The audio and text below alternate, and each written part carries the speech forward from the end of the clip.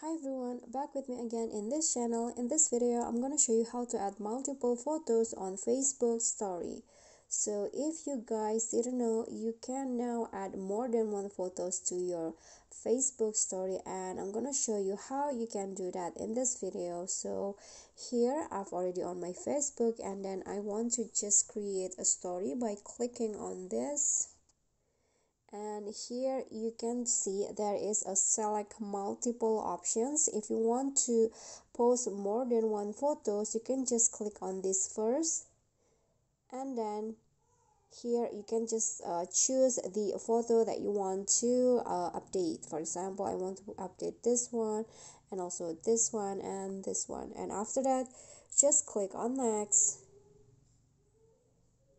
and then here you can make some edit of uh in each of these photo. Just click on edit here. And then you can add sticker tags draw effects and also you, you can even tag people in it. And you can also add some music uh, if you want. But if you're not just click on done and then click on share okay guys so i think that's all. That is how you can uh, post multiple photos in your facebook story. If you enjoyed the video please give me a like and smash that subscribe button down there. And also don't forget to leave a comment. That's it for me today. See you guys next time